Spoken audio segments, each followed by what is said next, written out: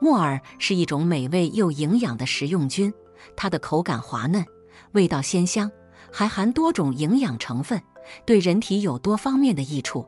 黑木耳的吃法也很多，可以凉拌、炒菜、煲汤、做馅料等，是一种非常适合家庭日常食用的食材。但是要想吃好木耳，不仅要会做，还要会选、会泡、会洗、会保存。很多人都是直接用清水洗木耳，洗完后就拿去炒菜、凉拌。但是大多数人都不知道，如果仅仅只是用清水洗，很可能你已经在不知不觉间吃掉了上百个虫卵。这可不是危言耸听，也不是农民种植的木耳不合格。实际木耳在生产及后期的加工过程中，它的褶皱里很容易积攒下不少的尘土。虫卵等脏东西，清水很难洗干净。这个时候吃木耳，你可以想一下，这不是在吃菜，完完全全就是吃虫呀。那么木耳究竟该如何清洗呢？一个十年饭店大厨给我支了招，洗完之后真的感觉木耳又光亮又柔滑。今天我就把这个方法告诉大家，保证虫卵和脏东西自动溜走。一清洗泡发木耳，很多人习惯用水直接泡发木耳，但这样其实不太科学，因为水不能有效地杀死木耳上可能存在的虫卵和细菌，也不能去除木耳上可能残留的杂质和化学物质。用热水泡发虽然速度很快，但是营养容易流失，而凉水泡发时间又会特别长，所以最适合用温水。所以今天我要分享的方法，那就是用温水加小苏打、白糖和面粉来泡发，这样可以使木耳更快、更均匀地吸水膨胀，并且可以去除虫卵、杂质和异味。具体步骤如下：准备一个大碗，放入适量的温水，水温不要超过四十摄氏度，否则会破坏木耳的营养成分。在水中加入一小勺小苏打。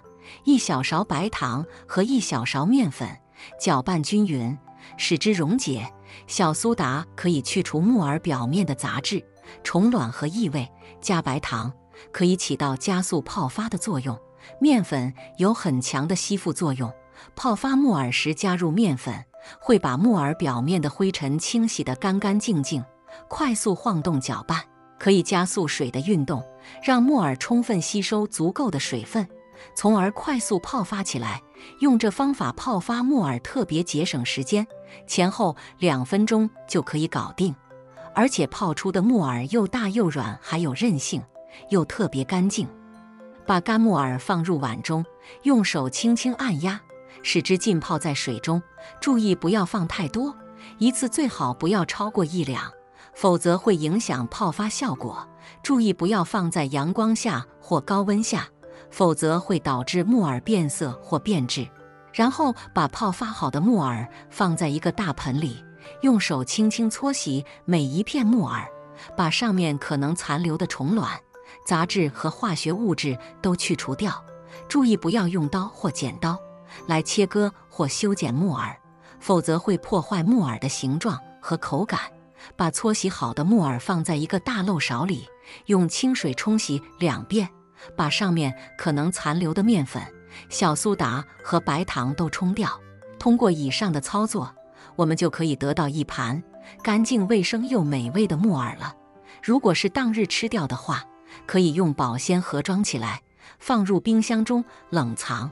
这样既能保证菌类的新鲜，又能保证菌类的口感，而且还能随时取出吃。二、挑选木耳。黑木耳含有丰富的蛋白质，其蛋白质含量堪比动物食品，因此有“素中之荤”的美誉。此外，维生素 E 含量非常高，是美白肌肤的佳品。最重要的是含铁量最高。说到补铁，一般都认为菠菜、瘦肉、动物肝脏中含量丰富。其实，在所有食物中，黑木耳的含铁量最高，是菠菜的二十多倍，猪肝的七倍多。因此是养颜补血、预防缺铁性贫血优质的食物来源。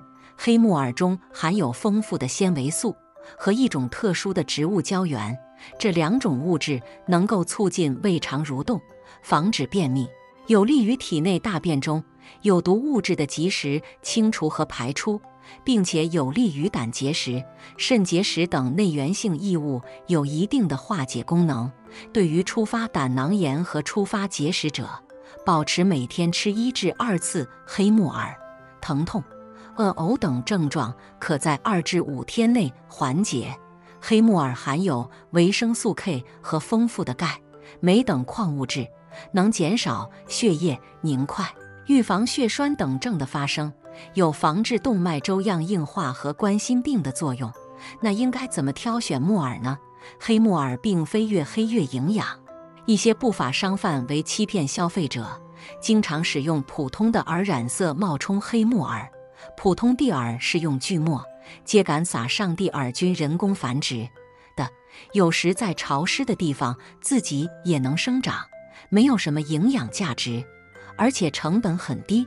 一斤地耳的产地价约为十多元，但经染色后就摇身一变成了营养丰富的黑木耳，每斤能卖出近五六十元。造假者通常将地耳倒入盛满热水的铁锅里。放入一定量的墨汁，就可将原本黄褐色的地耳变成黑色的黑木耳。目前，这种假冒的黑木耳在网上销售较多，消费者应学会甄别。同时，由于黑木耳的吸溶性很强，很多其他物质，包括糖、盐等都能吸收进去。一些不法商贩还常使用化学制剂硫酸镁浸泡，以增加黑木耳的重量。这样一斤黑木耳能长胖两三斤，但作为一种化学制剂，硫酸镁也可作为泻药用，是严禁添加到食品中去的。黑木耳并非越黑越好，消费者可通过辨别颜色来区别真假。真正的黑木耳正面是黑褐色，背面是灰白色的，而地耳是黄褐色的。用硫酸镁浸泡过的木耳，则两面都呈黑褐色。同时，黑木耳味道很自然，有股清香味，而掺假的木耳有墨汁的臭味。把经过加工的黑木耳泡在清水中，很快水就会变成墨黑色。此外，真木耳嚼起来清香可口，而经过硫酸镁浸泡过的木耳又苦又涩，难以下咽。优质黑木耳的挑选技巧：一、捏，无论黑白，优质木耳的含水量很低。拿在手里感觉很轻，用手捏一碎，闻新鲜黑木耳没有酸、臭等异味，存放时间久了会因蛋白质、脂肪变性而有酸气或其他异味。若有霉味，说明已经受潮变质。银耳若有焦味，可能是在加工时烘干过度，虽可食用，但质量、风味较差。购买银耳时，还可以在包装袋上开一个小孔，闻闻有无刺鼻的味道。如果有，说明残留较多二氧化硫。二尝纯净的木耳，清甜没有异味。一些不法商贩会用明矾水、碱水或食糖水浸泡木耳，以增加重量。购买时可以舔舔木耳的背面，若有涩味、碱味、甜味或刺激。辣的口感说明经过额外的加工，质量差。食用黑木耳还需注意什么？黑木耳虽然营养丰富，并且有养生保健的功效，但是并不是所有人都适合多吃黑木耳。首先，黑木耳有降低血脂、降低血小板、抗凝血、预防血栓症的作用。它对于降低血液粘稠度。防止血小板凝集于血管壁上大有好处，可以说是一种天然的抗凝剂。但是，也正因为如此，有出血倾向的病人应少吃黑木耳，比如脑出血病人，尤其是在脑出血发病后的前三个月更要注意。另外，在手术及拔牙前后，也要避免大量吃黑木耳，卡血、便血。鼻出血患者也不宜食用。其次，黑木耳富含膳食纤维，因此腹泻、消化功能差的人要少吃木耳，否则会引起胃肠胀气或加重腹泻等不适症状。最后再提醒大家一句：新鲜的木耳可是有毒的，吃木耳可不要吃新鲜的。新鲜的木耳中含有一种叫卟啉的光感物质，它会导致皮炎、皮疹等疾病，还会引起呼吸道黏膜过敏反应，出现呼吸困难等症状。几乎在每年的新闻中都有报道吃木耳中毒的事件。浙江一个家庭因为吃了一盘泡发了两天的黑木耳，妈妈和孩子都食物中毒住进了医院。七岁的女儿因为中毒严重，全身器官衰竭，换血四次依然昏迷。网上一搜，类似的新闻还不少。二零一七年。辽宁一名二十八岁的年轻女士，因为食用了泡发过久的黑木耳，全身多个器官出现衰竭。二零一六年，温州一对夫妻同样因为食用黑木耳，被送进 ICU 抢救。黑木耳真有那么可怕？到底是什么导致黑木耳变成了健康刽子手？罪魁祸首其实是他，应该能发现上述案例中引起中毒的黑木耳。都有一个共同特点，就是泡发了两天以上。浙江疾控中心的专家实验后也发现，危险就在于泡发时不够干净，加之时间过久，有害物质大量繁殖。不仅是木耳，包括香菇、银耳等菌类都含有营养成分。在泡发的时候，如果不注意卫生，或者泡发时间过久，就可能产生一种特殊的细菌。椰毒假单胞菌，它会产生一种叫做米酵菌酸的毒素，就是这个毒素导致了一桩桩的惨剧。米酵菌酸为何如此可怕？这里就要提到米酵菌酸的特性了，它具有耐高温、难溶于水的特性，人体摄入后对细胞造成大规模的破坏，损害肝、肾、脑等各个脏器。它的潜伏期是二十四小时到四十八小时，发病非常迅速，而且死亡率高达百分之五十以上。米酵菌酸毒素中毒患者初期仅有恶心、腹泻、头晕、全身无力等症状，随着病情加重，表现为黄疸、腹水、皮下出血、抽搐、血尿、血便等肝脑肾实质性多脏器损害症状。一旦摄入，如果中毒不严重，还有机会抢救；如果毒素已经到达各脏器，造成的损伤往往就是不可逆的。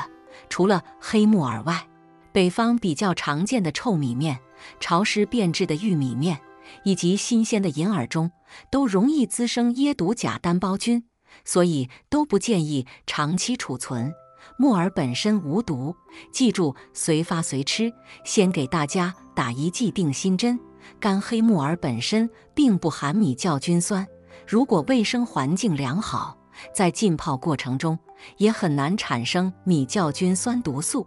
安全泡发木耳注意以下几点：一、建议每次只短时浸泡当餐食用量的木耳，不食用浸泡过夜的黑木耳；二、木耳在高温下变质特别快，泡发时间超过八小时，滋生的细菌。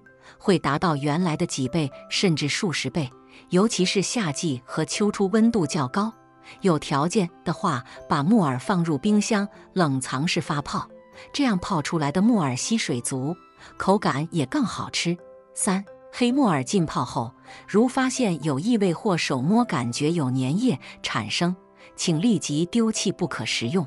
四、保持良好的厨房卫生环境，不留剩饭剩菜。及时洗净餐具，不留食物残渣。木耳虽好，也别吃多。木耳被称为素中之王、素中之荤，这绝不是浪得虚名。它所含的微量元素数量惊人，比大多数肉类食物含量都高，是补血补气的极佳选择。由于木耳有辅助活血抗凝的作用，有出血性疾病的人不宜食用，孕妇不宜多吃。木耳的热量很低，富含膳食纤维和植物胶原，对于减肥和缓解便秘是有帮助的。膳食纤维吸水能力强，可以增加饱腹感，帮你控制食欲。膳食纤维能有效促进肠胃蠕动，使粪便的体积增大，缩短粪便在肠道的时间，从而缓解便秘。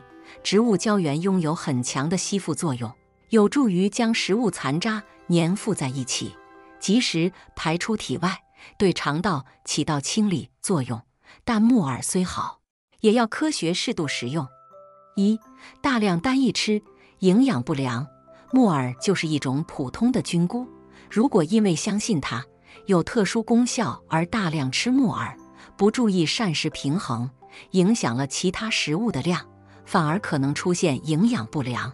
二吃太快，肠梗阻。黑木耳的膨胀系数很高，比普通食品更容易感到腹胀。据报道，广州的一位大叔觉得晚上的木耳做的好吃，就狼吞虎咽地吃了好多。结果睡前发生了急性肠梗阻，其原因就在于小肠堆积了大量没咀嚼消化的木耳。建议木耳一定煮熟，并且要细嚼慢咽，咀嚼完全才能吞下。今天的分享结束了，愿各位听众朋友都能身体健康，拥有幸福晚年。明天同一时间，我们再见。